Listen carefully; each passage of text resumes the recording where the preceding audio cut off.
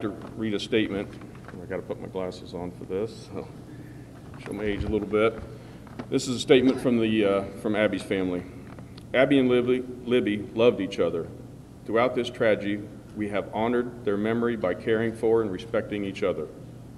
We respect Libby's family decision to speak publicly at this time, just as they respected our family's decision not to speak publicly. The family of Abby Williams.